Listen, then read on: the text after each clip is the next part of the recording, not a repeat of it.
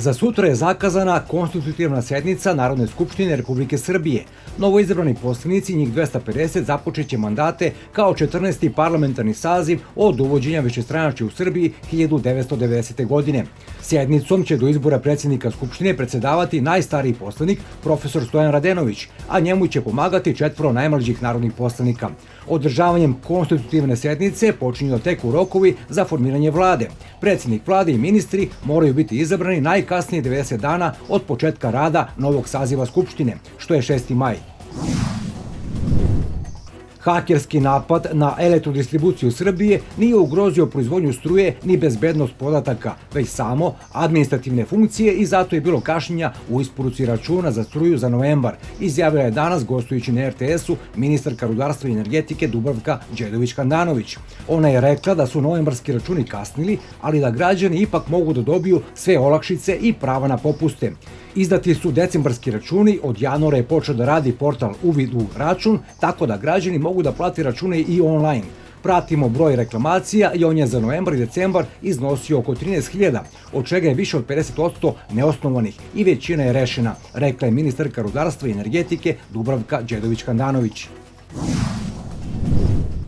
U šest gradova u Srbiji, među kojima je i Zaječar, počeli su konkursi za prijavu dece za školsku 2024-2025. godinu u preškolske ustanove elektronskim putem preko portala e-uprava.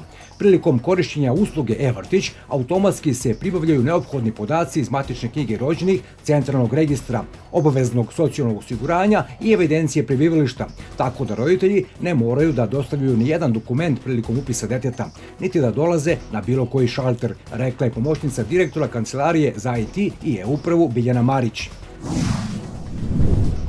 Iz MUPA ističu da statistika pokazuje da bahati vozači koji ne poštuju pravila saobraćaja propisana zakonom često izazivaju saobraćaje nesreće i na taj način ugrožavaju tuđe, ali i svoj život. Tokom prošle godine 19 saobraćajnih nezgoda sa poginulim licima izazvali su vozači koji su upravljali vozilom pod dejstvom psihoaktivnih substanci, a samo u januaru saobraćajna policija isključila iz saobraćaja i zadržala u službenim prostorijama 289 vozača koji su upravljali vozilom pod dejstvom psihoaktivnih substanci. Naveli su iz policije i još jednom apelovali na sve vozače da se za volanom ponašaju odgovorno. U Majdanpečkom centru za kulturu minulog vikenda izvedena je pozorišna predstava Komedija Zabune u režiji Rajeta Vukotića. Ovaj pozorišni komad, pozorišna Slavija iz Beograda, već pet godina se izvodi širom Srbije, ali i regiona. Ja konkretno igram slikarku koja očekuje, da kažem da je dođe e, model za slikanje, ali eto dolazi momak koji želi da rentira stan i naravno dolazi da uvek ima tih, da kažem, nekih aluzija na, na, ovaj, i na, na neke ljubavne zaplete i na, u svakom slučaju je veselo, duhovito, živapno i možda ono što je, da kažem, poenta da se konačno, eto, narod malo razgali, da se veseli, zabavi, jer čini mi se da smo već i malo svi umorni od nekih, da kažem, teških tema. Ženska štafeta reprezentacije Srbije u disciplini 4x400 metara na juče održavom prvenstvu Balkana za starije juniore i juniorke osvojila je prvo mesto.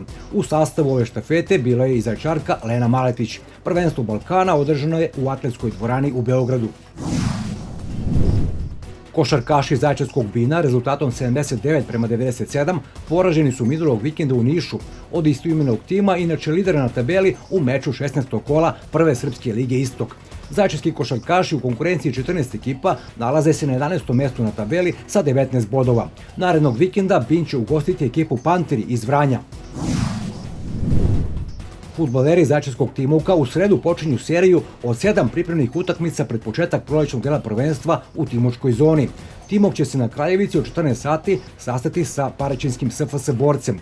Prvenstvo će biti nastavljeno 2. marta, a u prvom prolećnom kolu Timok putuje u Dimitrograd na duel sa ekipom Balkanski.